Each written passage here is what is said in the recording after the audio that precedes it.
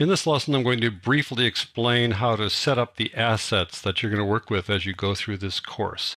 Whether you downloaded the course or have it on a DVD, there's going to be a folder called Working Files.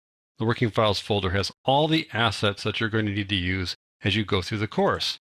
Working Files folder has these subfolders that include the After Effects projects that you're going to work on, along with a folder of Digital Juice stock footage, Digital Juice provided these video clips for us to use. They also have special effects and graphics that you can use in After Effects, and they graciously provided these for our use and for your use.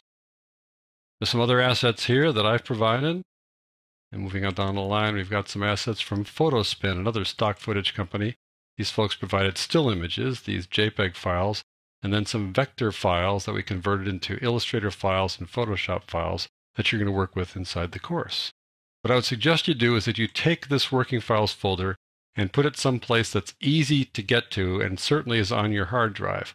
What I've done is I put it here on my desktop because I'm going to go to it a lot in this course, and I suggest you do the same. Just have a link to it on your desktop, and that's probably the best way to do this. Also, you probably want to put the After Effects link here on your desktop as well because you're going to use that a lot as you go through this course. Finally, I suggest you make an empty folder. I call it the My After Effects Exercise Files folder. You can call it whatever you want.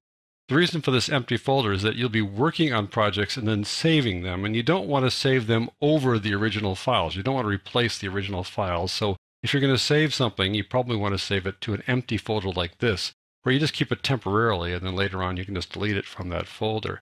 If you do accidentally save a file using the same name from the working files and save it back to here as something different, you can always go back to the original working files folder and just replace it. But nevertheless, it's a good idea to have this little folder here as a way to just to take care of things that you don't really want to save on top of inside the working files folder.